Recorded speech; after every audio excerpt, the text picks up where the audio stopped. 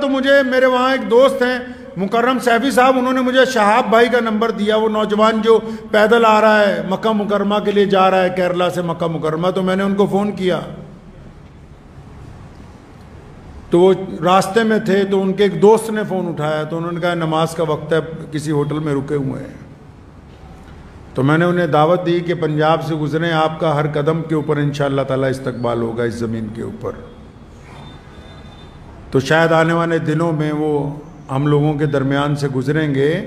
लेकिन मैं यूट्यूब पे देखा कि कई कई मौलवियों ने दो तीन बातें की जी, पैदल नहीं जाना चाहिए, ये नहीं करना चाहिए।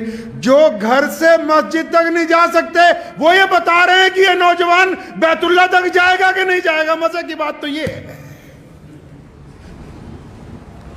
जो अपने घर से मस्जिद तक पैदल नहीं जा सकते जिन्होंने कुछ खुद फन ना किया हो, कोई खुद खिदमत ना अंजाम दी हो। हमने तो जिस दिन पहले दिन सुना कि एक नौजवान केरला से मक्का मुकरमा पैदल जाएगा तो उसी दिन से रोज़ाना दुआओं का अहतमाम है क्योंकि वो सिर्फ़ बैतुल्ला की तरफ़ नहीं जा रहा, उसके हर एक कदम पर मुसलमानों के जज्बात उसके साथ हैं, लोगों की दुआएँ उसके साथ हैं, लाखों करोड़ों माओ का सहारा उसके साथ है, अल्लाह की रहमतें उस पर बरस रही हैं। और खुद मोहम्मद रसूलुल्लाह ने फरमाया कि अगर मक्का मुकरमा से कोई पैदल हज करता है, एक कदम के ऊपर 700 हरम की नेकियाँ उस बंदे को अता की जाएँगी। तुमसे तो फतवा पूछा ही नहीं है जो फतवा देने के लिए तैयार बैठे हो।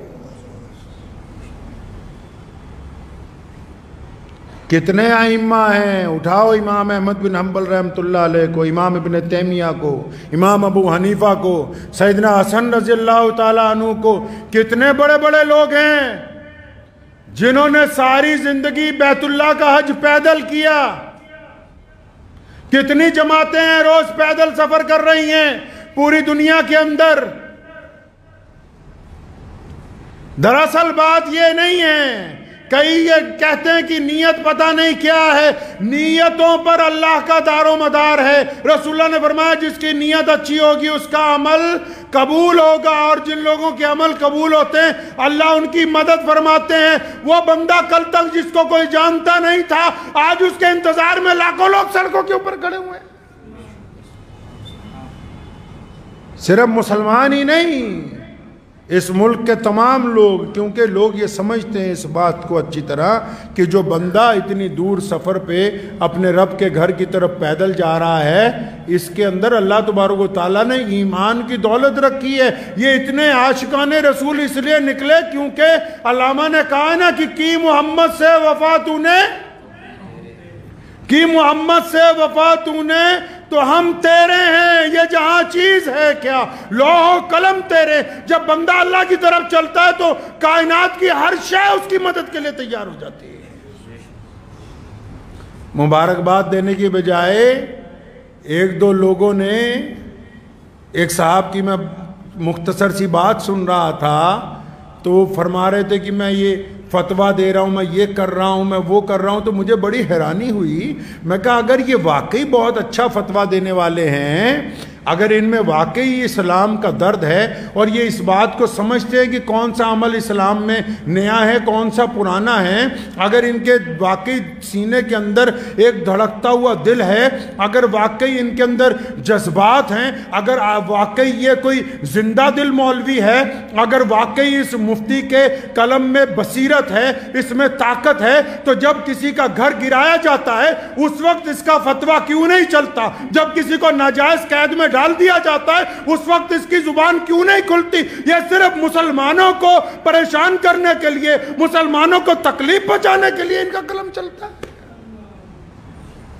हाँ अगर इनका कलम उस वक्त चला होता तो आज इस कलम के आगे हम सर हमें तस्लीम कर देते, लेकिन पता ये लगा कि इनको हसद की बीमारी लग गई। हसद की बीमारी लग गई। हसद का कोई इलाज नहीं है दुनिया में।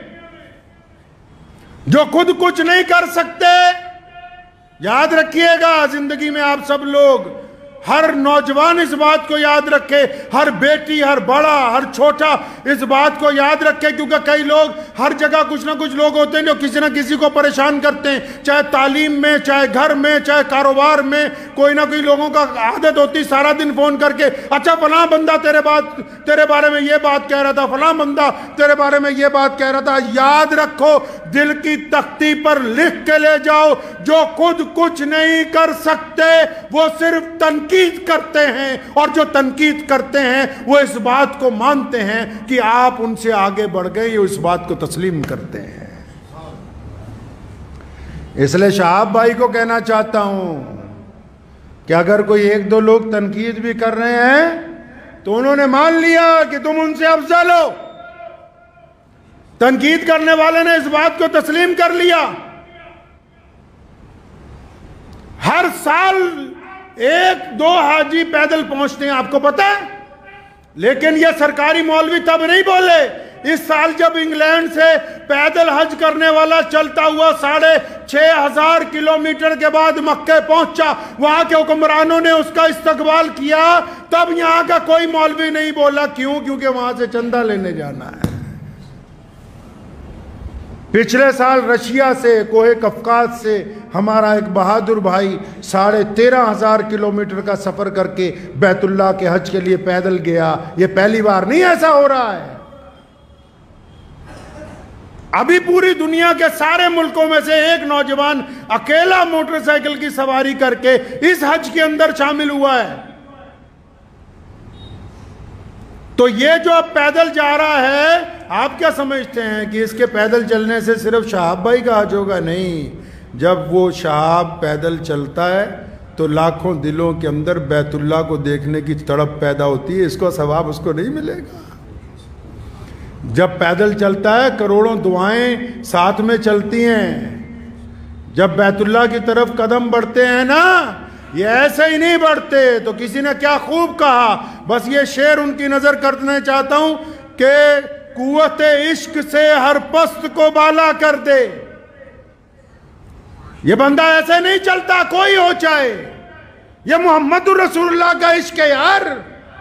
ये हजूर नबी सलाम की रहमतें हैं जो ज़ाहिर हो रही हैं। कहा ना किसी ने क्या खूब? कि कुत इश्क से हर पस्त को बाला कर दे, दहर में इश्क मोहम्मद से उजाला कर दे। वाखुर दावाना अनिलहमदिल्ला रबालम